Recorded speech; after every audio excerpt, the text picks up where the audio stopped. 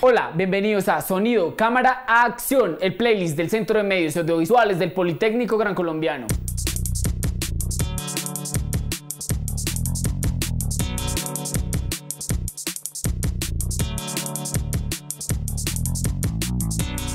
En este video les enseñaremos cómo reproducir desde la cámara los videos que acabaron de grabar. Para reproducir los clips que acabamos de grabar, debemos oprimir el botón Mode que se encuentra en la parte trasera de la cámara. Al oprimirlo, en el display nos aparecerá un nuevo menú.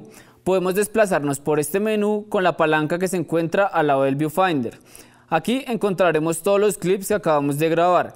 Si oprimimos sobre uno de ellos oprimiendo la palanca, reproduciremos el video que queramos ver.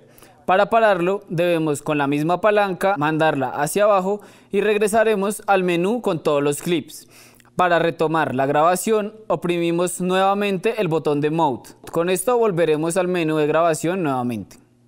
Un botón que encontraremos bastante útil al momento de grabar es el botón de cebra. Este al momento de oprimirlo tendremos una referencia visual en el display de qué zonas de la imagen se encuentran sobreexpuestas. Esto quiere decir que no tenemos información en las zonas más iluminadas de la imagen. Al grabar en modo manual también debemos controlar la velocidad de obturación de la cámara. Esta la podemos variar desde el botón shooter que se encuentra detrás del display.